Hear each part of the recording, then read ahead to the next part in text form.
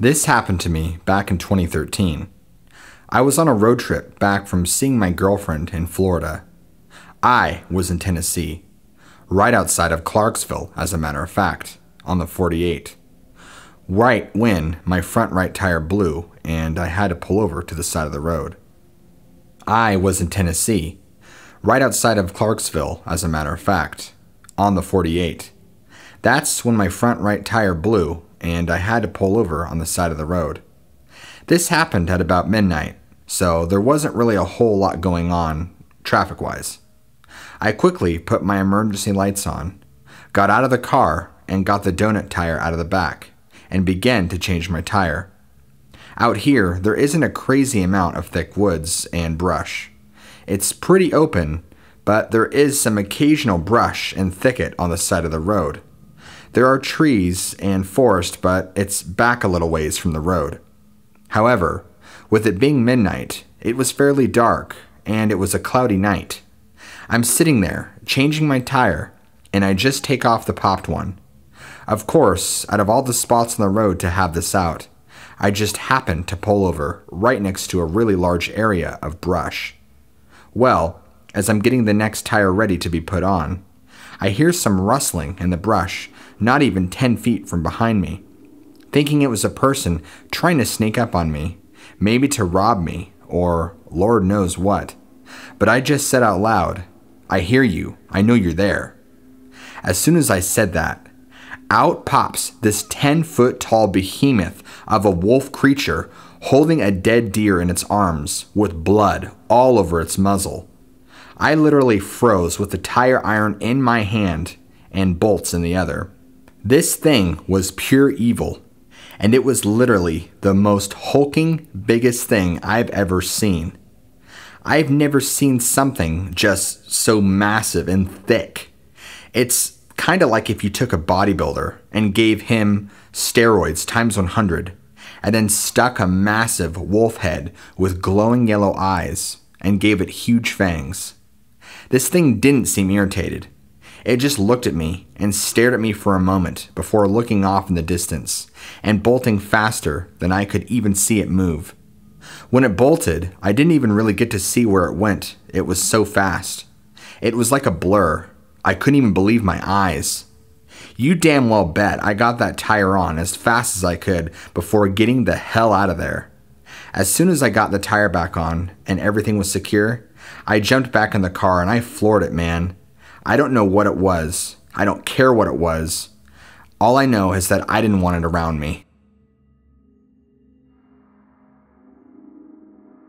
Me and my buddies live in Missouri, and we like to go four wheeling from time to time down old logging roads and find the best spots to just jet off out into the woods. We've been doing this for years, and I've always had such a blast. But very recently, we've had a different experience. Me, my buddy Travis, and my other buddy John all hopped in his truck with our trailer with our four wheelers on it, and we drove out uh, about an hour or so in the woods away from his property. There's a lot of really old logging roads that haven't been used in God knows how long, just around the area he's at. We usually just pick one and go down until we find a good spot to pull off, park, and get our ATVs going. We go down a different dirt road that we usually go down, but there are several to explore, so we thought, hey, let's go pick a new one today. The woods are pretty quiet out this way, I thought. Something I didn't really pay attention to much before, but I just felt kind of uneasy. I wasn't going to mention that to my friends since everything else seemed pretty normal and we were all laughing and joking. We ended up parking and pulling right in the middle of the road, and Travis said, All right, let's load up. We all got out of the truck and got the four wheelers all set up and ready. Got our gear on and our GoPros and our helmets, and we're all good to go. Travis went first, and I followed after it with my friend and John following behind me. We went for quite a ways. I want to say at least a mile or two, and just traversing through the forest. At some point or another, Travis went ahead of me, and me and John kind of just stayed behind. I think Travis was really wanting to explore, so he kind of went off, and we usually just wait around a little bit for him to come back.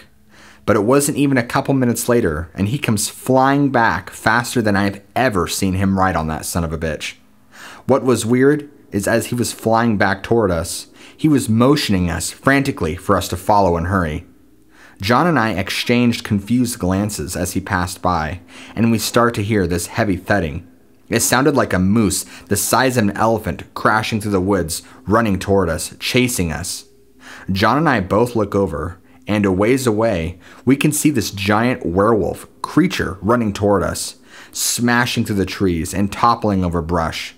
This thing was a bulldozer, literally.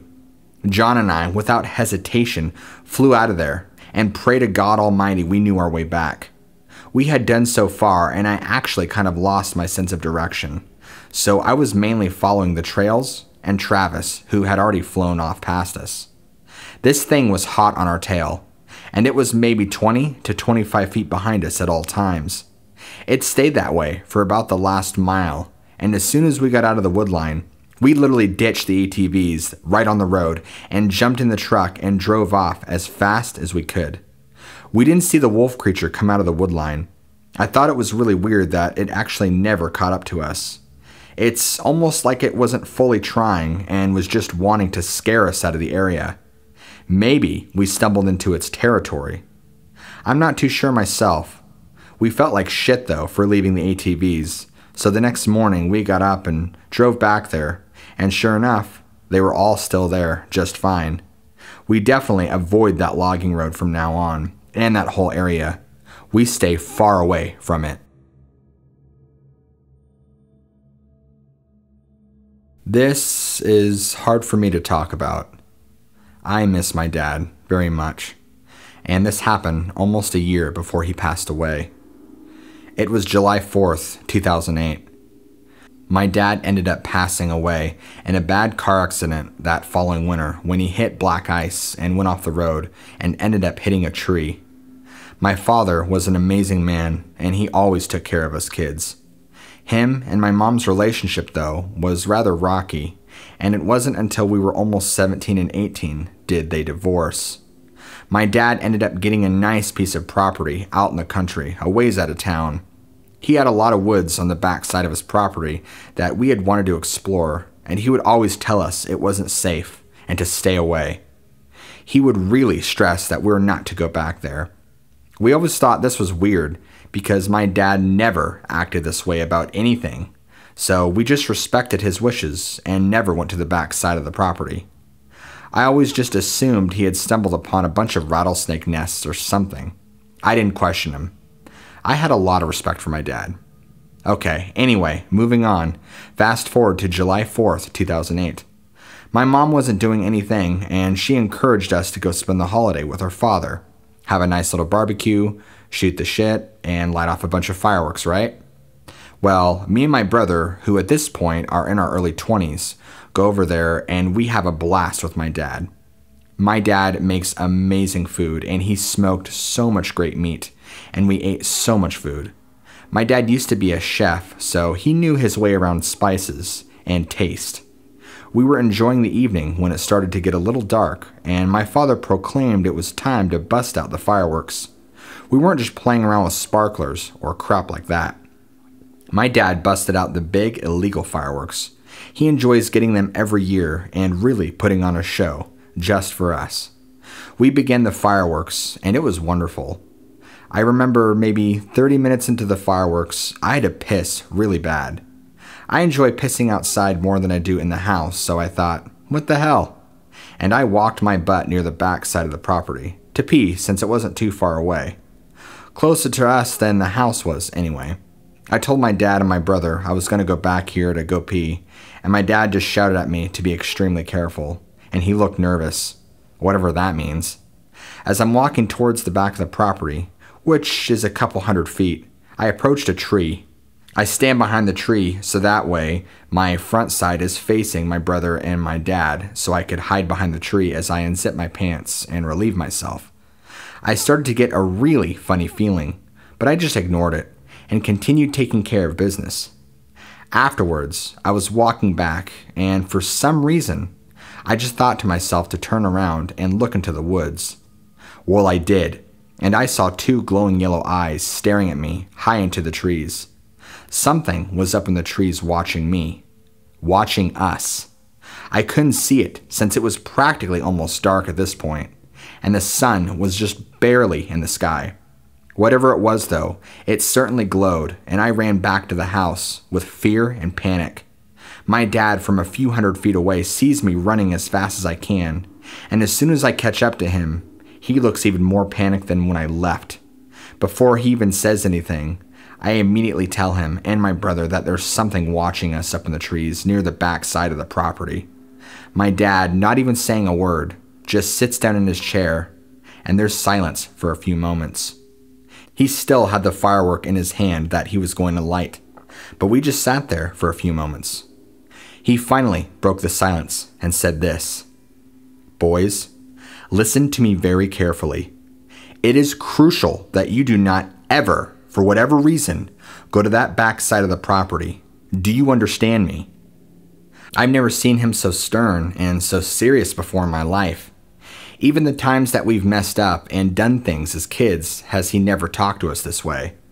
There was a sense of fear and anger in his voice. He said that let's finish off lighting a couple of these fireworks and go inside for the night. I wasn't going to argue with him. I was beginning to feel uncomfortable after everything. My younger brother just sat there in silence, not saying a word. After a couple more fireworks, we ended up going inside for the night, cutting things a little short. After that night, we went back to town, and I didn't see my father again until October. When I learned that he had moved out of the property and into an apartment because there was some issues going on with the property that he never talked about. I want to know what he knew. What did he see? What did he experience? He clearly knew something was back there and kept us from it out of our safety. I don't ever want to imagine if anything back there crept up to the house and tried to get in. I'll never know now, but if my dad was alive, I would sure love to ask him. I drive a truck for a living, and I'm actually quite well known in my business. Some of my superiors know about this, and I'd prefer that I keep anonymous as much as possible. Like I said, I drive a truck for a living and have been doing it for quite some time. Truck driving is an interesting occupation to say the least. Long drives, not a lot of interaction.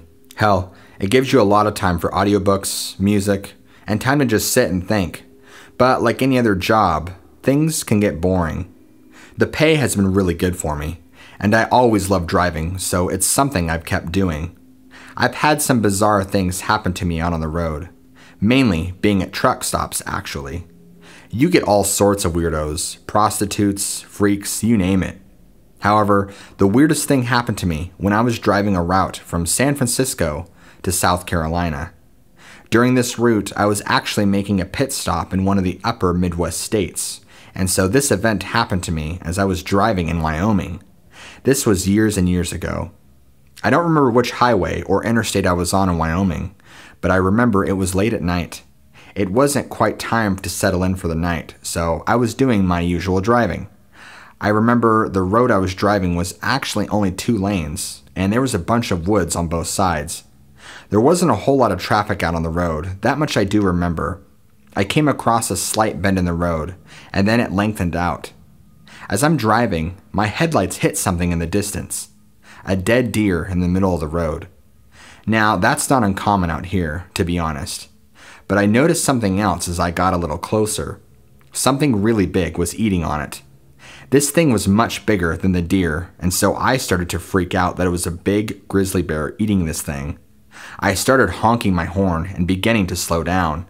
This thing was hundreds of feet away, but if I had to stop due to a bear, you better damn well bet I was going to start slowing the hell down way before I ever got even close.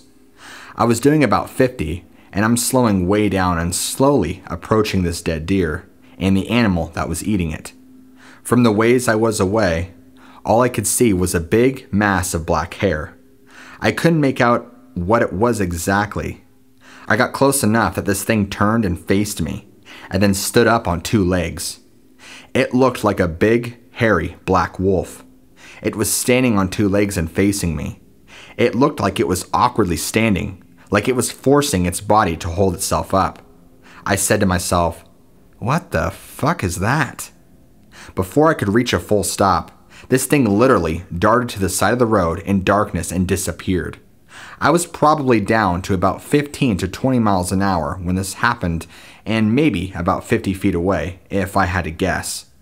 I kind of glided there on the road for a second, rubbing my eyes, convincing myself I was just really, really tired, and I was hallucinating.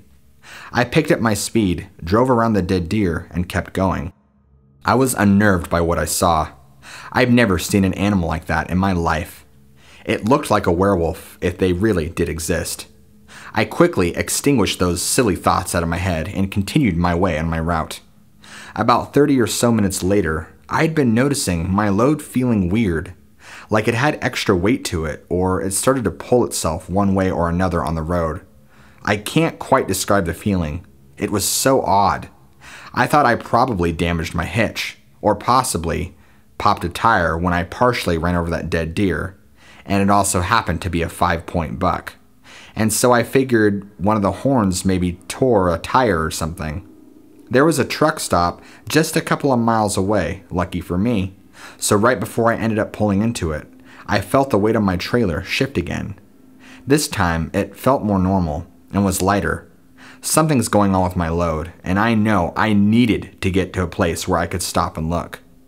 When I finally reached the truck stop, I got some glares from fellow truckers that were outside of their trucks with coffee, which was only maybe three since it was super early in the morning. I got out of my truck and my jaw dropped at what had happened to my load. Three of the tires were not only popped, they were shredded. They looked like somebody attacked them with a sword and sliced them up. There were giant tear marks all over the trailer, and much of the wiring for the lights on the hitch were not only torn, they were missing. They had somehow been torn out entirely. My trailer was in significant damage. I had no idea what happened, and there's no way this could have happened from just partially running over a dead buck. I called my supervisor immediately and explained the situation. I ended up having to take an emergency vehicle somewhere else, and they came and took care of the truck. I'm not sure whatever came of the truck and the load, but that's my story for you. Maybe the wolf creature did it. I don't know. I've always been into living out in the countryside, but never quite knew when it was going to happen with my current job. So, I ended up being in the right financial situation after getting a new job in a different part of town to be able to finally find a beautiful place in the country and call it my own. I had looked all around and ended up scoring a pretty good deal on a pretty cheap piece of property that not only had acreage, but a nice, good sized house with a little extra few bonuses. Let me explain this property for you a little bit better. You go up this long driveway, about 500 yards, all gravel. Both sides of this driveway is just alfalfa fields, and then past those fields is woodline and forest on both sides. Once you get up to the property, the house is surrounded by a wraparound driveway that's also all gravel.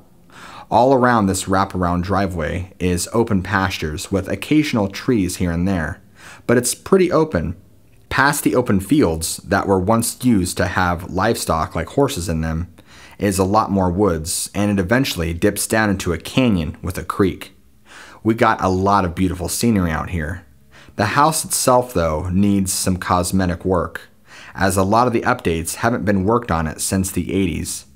It's an older, larger farmhouse built in the early 1900s. It features an amazing open living room with a huge stone fireplace.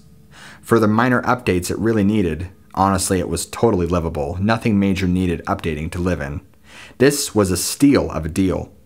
I remember being there with the broker the first time I checked the property out. He walked around and shown me all the stuff there was. This place even had a really nice two car garage shop across from the house, a chicken coop next to that, and a barn further down the field that I had access to. Near the front of the house was a woodshed, and another building what looked to be like an old homestead. Everything looked great, and when I asked the broker why all this property was so dang cheap, he just told me that they've been having problems keeping tenants in here for some reason, and that maybe a lower rent will help. I was confused by this. How on earth could they have a hard time keeping people here? You bet I signed that contract as fast as I could, and before you knew it, I had the keys in my hand and it was move in day. An important detail I should share with you this is one of the things I love most about my property now. There are so many deer, lots of deer. Mostly all does, though. I've only actually ever seen just one buck. But still, they hang out in the fields and they come up to the house sometimes. I see them maybe every day. It wasn't even more than maybe a couple weeks of living here, and I started to notice weird things going on. The first is that the deer started disappearing. Not only did they just stop coming around the property, but I noticed initially they would travel in larger groups. But I kept seeing over time the groups getting smaller. There wasn't several large groups of deer that I saw, just one main large group of does. It looked like it was getting thinned out. During the day, working on the house outside painting, I felt like I was being watched, and I could never fully pinpoint where it was coming from. I would hear weird banging and clanging noises at night from my woodshed and homestead. I know we got critters out here like badgers, coyotes, skunks, coons, and deer, but these were loud, like some large animal was banging around in them. I initially ignored it until just a few weeks ago, I began seeing shadows running around my property, and I've seen this wolf face pop up in my window multiple times, staring at me, watching me. I know we don't have wolves out here, I don't know what it is I'm dealing with. There's some sort of animal living here with me, and I don't know what to do if it becomes aggressive. I still love my property, and this thing must be living around here, eating the deer. I've only seen this animal's face a couple of times, but I'm not scared. I'm not going to be outrun from my house by some animal. I'll gladly share my land with a predator if that's the case. Just as long as it stays away from me and doesn't hurt me, we can live in peace together. Oh, and I've been living here about six months now, dealing with this situation. It's strange, and I'm living with this weird wolf thing on my property. I guess we'll just have to get along for now.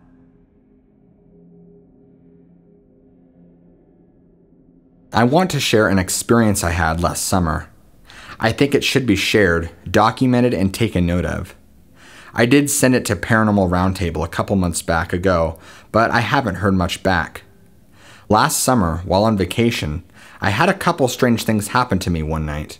I had gone to a music festival on the west coast of Canada, about an hour drive east of Vancouver. I had traveled from Vancouver Island to get there. After the festival was over, I decided to stay on the mainland and check out some areas and parks and do some camping as I rarely get off the island. I ended up getting lost in my car and heat stroked and finally found a campground. It wasn't a great campground. It was mostly intended as an RV resort type of park. But I didn't care. It was up the road from this haunted house attraction, like one of those ones that are open on Halloween. The attraction looked like a storefront. It didn't have a sign or anything. I thought it was the office where I had to register to camp. There was a sign on the street right by it that said camping. When I got out of my car, I got creeped out and that was when I realized it wasn't the office reception for the campground, but a closed down haunted house attraction. There was a campsite behind it. I thought about staying there, but my instinct said no. So I go in my car, drive down the road, and found a better campsite up the road. I was so tired I didn't even set up my tent, but slept under the stars in my air mattress. The next night, I was hanging out with a family that was camped next to where I had set up my tent. They had a propane fireplace, campfire ban in effect, so I was enjoying their fire. I had to go buy smokes, and there was a store about 10 minute walking distance up the road. It must have been about 10:30 p.m. Being from the city, the thought hadn't crossed my mind to go to the store before it closed. I assumed because it was a gas station, it would be 24 hours. I also thought nothing of being a female out walking in the night in the country. As soon as I got to the road from the property of the camp park, I felt a little bit at ease. It was dark as hell, but I'm not afraid of the dark. There were a bunch of big rig trucks lined down the road. The road was adjacent to a major highway, so they likely parked for the night. Both sides.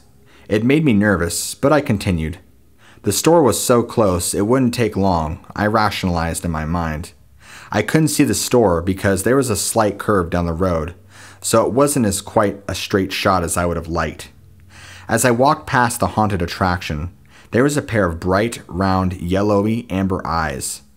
At first, I thought it was an animal, maybe a coyote because of how low they were to the ground, like a foot above the ground.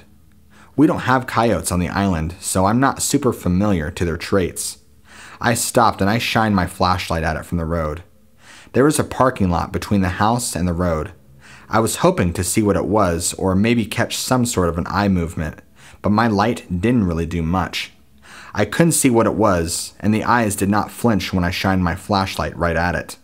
They just stared at me, so I kept moving. I was almost at the store. From my experience, when you shine light at an animal, usually you get an eye movement or a flick. That did not happen. That was concerning. I was freaked out now, but determined to get my smokes and get back to camp. Got to the store and it was closed. I needed a smoke at this point as I was scared from what I had encountered.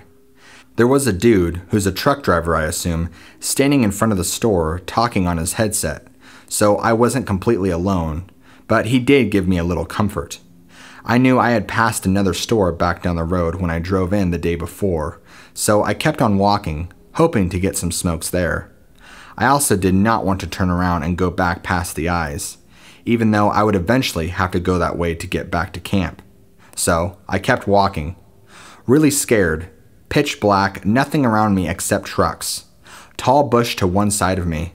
I am walking in the middle of the road as there are bushes to one side. I start hearing things move in the bushes and start thinking about wild animals, and I am freaked out, but addiction is a funny thing. Something in my head told me to turn around, but I did not listen to that voice. Then, the bush opens up into the fields. Cornfields. I keep walking and I could hear rustling. I feel like I'm being watched now. Sounds like animals or bird calls. I look through the corn and I see something shadowy and moving. I thought I saw a tall figure. Something tells me to go back now in my head, so I do. I think to myself, fuck the smokes, I will fucking quit. I'm hearing sounds all around me. I start to feel really tired. I'm finding it hard to walk, like I am walking through mud or fast flowing water. I'm trying to walk as fast as I can, but I feel like I'm being pulled back. I feel fear and start to panic, so I put my music on my phone, gangster trappy stuff, just so I have a focal point and something to concentrate on, and so I don't keep feeding the fear rising up in my mind. I continue to walk down the road, zigzagging from side to side.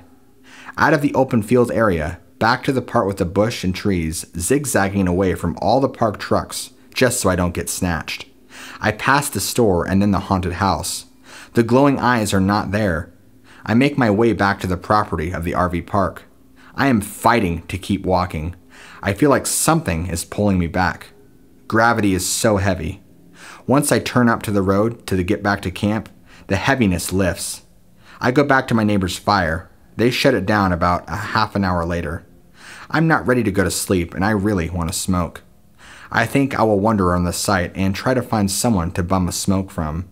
I have calmed down by now. As I am wondering, I thought I saw something move up a lane I was about to go down. I wasn't sure, but it was enough to make me go back to my tent. I sat outside my tent, having a beer, and smoking a doobie, and as I was scanning my surroundings, I see a dog staring at me from in front of the RV of my neighbor's campsite. At first, I had a moment of panic, as I am terrified of dogs. I've been bitten a couple of times on different occasions. Then I see this isn't a normal dog. It is huge. I couldn't see its body because it is obscured by shadow from the hedge that is separating the RV sites.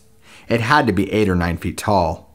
All I can see is its head and shoulders rising from the shadows cast across the RV from the hedge. It is like a Doberman in that it has the slender Batman type of head that a Doberman has large ears that point straight up. It is standing there, not moving, but looking right at me.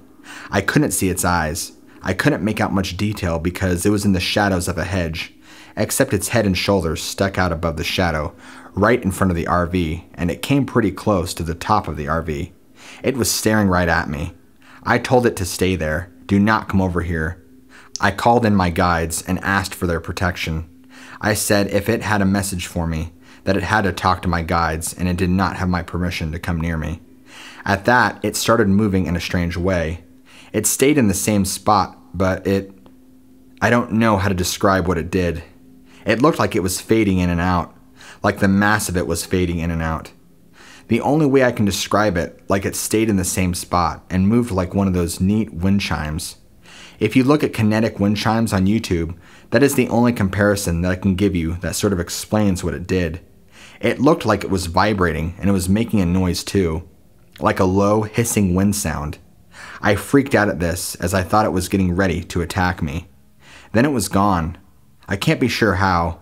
I think I glanced to the side for an escape route and looked back and it was gone. I used my joint and smudged my area. I made a protective circle where my tent was and asked my guides to bless and protect it and went inside. Every time I got up to pee in the night, I was so afraid. I literally peed beside my tent. The area I was in is very close to the Washington state border and Mount Baker. I do wonder what would have happened had I not fought to stay awake and keep moving forward when I was walking down that road. There are so many missing people in BC, and it just makes me wonder what could have been my fate had I not said, Not today, motherfucker. Also, one other point of interest was that I was dressed up in kigurumi. A kigurumi is an animal onesie for adults. Like kids' one piece pajamas. I had worn mine that night as it was a bit cooler than it had been all week that night. I had that and a bunch of other costumes for the music festival. I was dressed like a leopard, complete with a hoodie that had ears and a tail. Food for thought. I've become obsessed with listening to other people's dogman encounters since this happened. I was researching Anubis and hellhounds and found the topic of dogman. I had heard of it maybe once before, but never paid attention to the subject. I wanted to report what I saw because I haven't heard much from Canada, especially the West Coast. The area that I was in is a hot spot for Sasquatch activity and has been for hundreds of years. I just wanted to share my story. Thanks for listening.